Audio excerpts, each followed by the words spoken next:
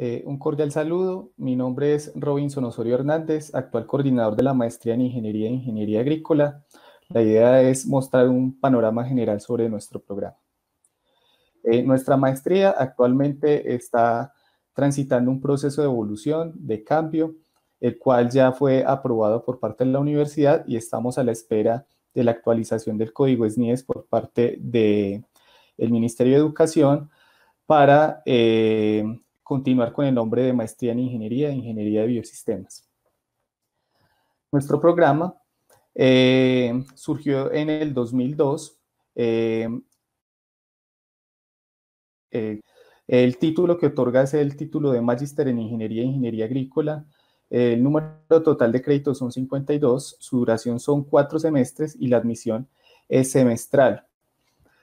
Hace poco, en noviembre del 2019, eh, recibimos eh, la reacreditación, o sea, una nueva acreditación, la segunda, por parte del Ministerio de Educación Nacional, eh, reacreditación de alta calidad, en noviembre del 2020. el objetivo de nuestro programa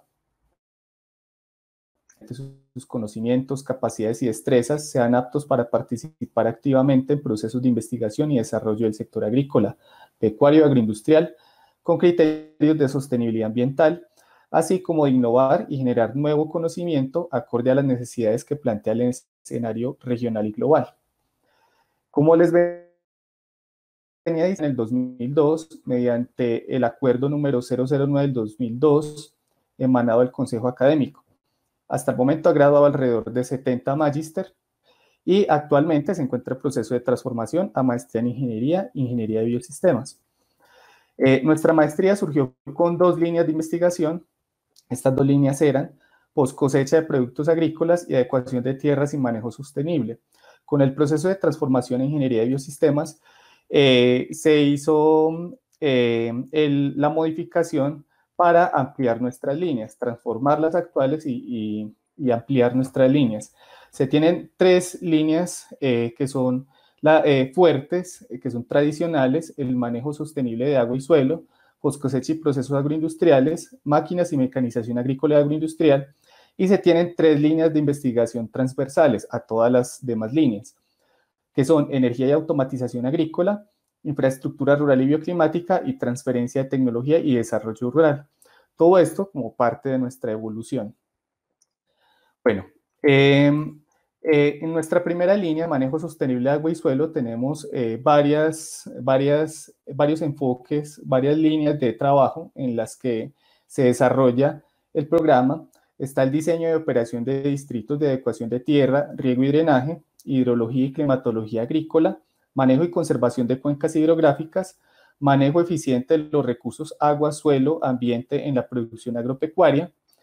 En nuestra línea de post cosecha y procesos agroindustriales eh, se trabaja eh, la post cosecha de productos perecederos, frutas, hortalizas y otros perecederos, como por ejemplo las flores, post cosecha de productos no perecederos, como granos, semillas y otros, almacenamiento de productos agrícolas, secado y deshidratación de productos agrícolas.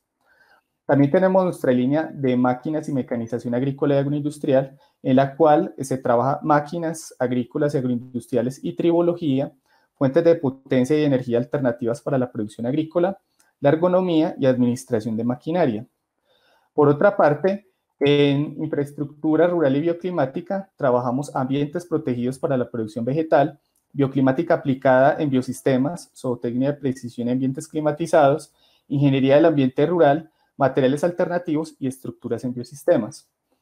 En nuestra línea de energía y automatización agrícola, eh, trabajamos lo que es automatización y control en biosistemas, visión artificial, espectrometría aplicada a la agricultura, energías alternativas y sostenibilidad energética y agricultura de precisión.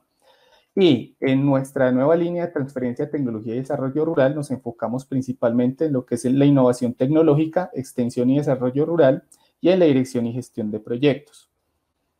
El perfil del aspirante a nuestro programa está dirigido a profesionales de la ingeniería y el agro y profesionales comprometidos con el estudio de los problemas que enfrentan el sector rural en las áreas agrícola, pecuaria y agroindustrial.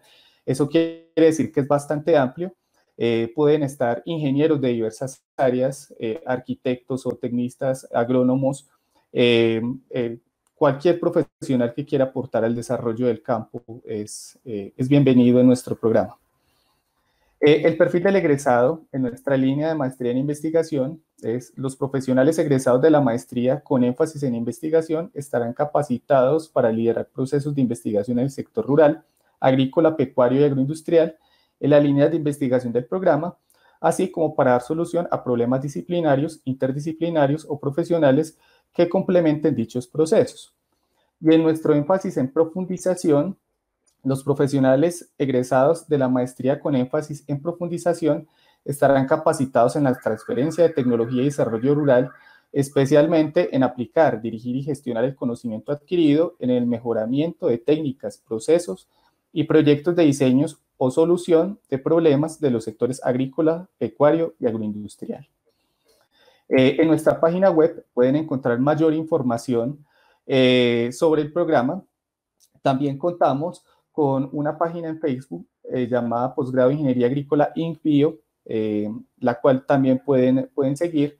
También contamos con un canal de YouTube donde tenemos varios videos, también pueden mirarla y pueden suscribirse. Muchas gracias. espero que les haya sido de utilidad y son bienvenidos todos los que quieran eh, participar del desarrollo rural y el desarrollo nacional de Colombia. Muchas gracias.